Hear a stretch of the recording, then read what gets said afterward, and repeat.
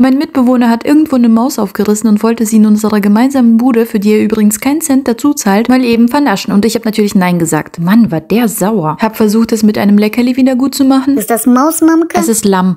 Puh, blöd. Komm zurück, wenn du Maus hast. Also habe ich ein Stück Rind genommen und dachte mir, ich kann die Katzen damit austricksen. Na, Mutter, was hast du hier mitgebracht? Ist das ein Stück Fleisch von dir? Naja, nicht von mir direkt. Ja, ich hab's auch gerade gerochen. Das Stück riecht nicht wie eine drei Tage ungewaschene Socke. Einen Moment. Ist das vielleicht die Maus, die ich gesucht habe? Ja, ja, Apollo, das ist die Maus. Du hast sie also gefangen und auseinandergenommen, so wie ich das machen wollte. Und jetzt frisst sie Kosmos. Willst du auch hier? Ich kann es dir auch geben. Hey, wo ist mein Fleisch? Kosmos, das ist nicht die Maus. Warte mal, was? Lass mich mal riechen. Stimmt, das riecht nach Kuhfleisch. Das ist nicht ihr Ernst. Mamke hat uns belogen. Ihr seid Katzen, ihr esst doch Fleisch, das ist doch egal, was für eins das ist.